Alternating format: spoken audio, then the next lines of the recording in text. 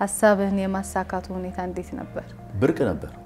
ማርሻል አርት ያኔ ብርቅ ነበር። ለምሳሌ አንድ ሰው አንቺን ሊመታሽ ሲመጣ እንደምትመልሹ ስለምታውቂ አትመቹ ማለት ትልቁ ቦታ ነበር መሰራው ሳንሲሮ ስቴዲየም ኢንተር ሚላን ሞሪንሆ ጋር ነበር መሰራው ጆሴ ሞሪንሆ ጋር እነ ስኩዌርን እነ ብሎንዲን እነዚህ ትልቅ ትልቆችን የዓለም ዋንጫው ሲመጣ ሁለት ጊዜ አሁን ባለፈው ፊፋ ራሱ ከኛ ጋር ነው challenge አለ። የአውሮፓ ዋንጫው ሲመጣ ክላረንስ ሴዶርፍ፣ ሮናልዶ ጎቾ ሮናልዶን ማነው ጎቾን በጣሊያኛ ነው የምናወራው እኔ እና እሱ። ለምን ያው ጣሊያን ሚላን ነበር እሱ። ዝንጀሮ መኪና እየነዳ ነው። ዝንጀሮ waiter ሆኖ ስራ እየሰራ ነው።